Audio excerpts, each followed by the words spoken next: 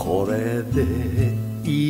と宿町に妻とあなたは書き入れる。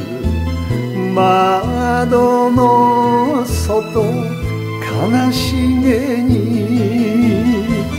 泣く虫を聞きながら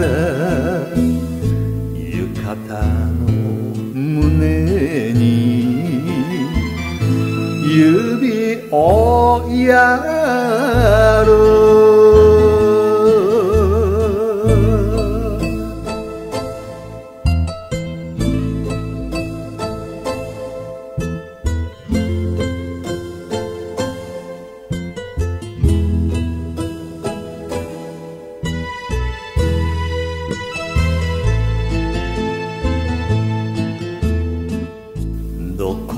こか寂れたこの宿が今の二人に似合うわね。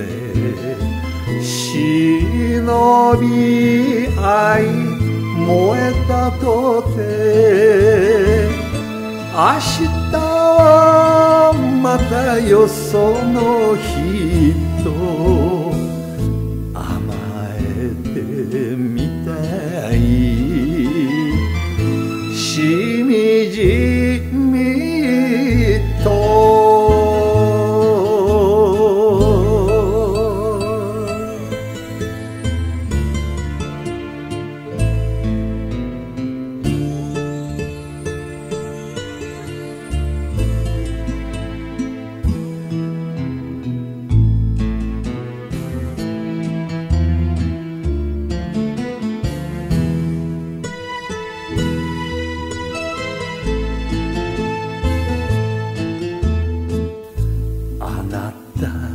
疲れているよね。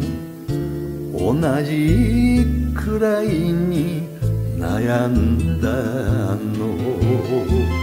ありがとう。嬉しいわ。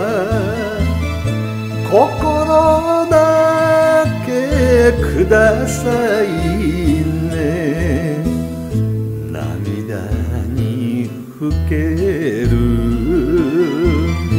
忘れ宿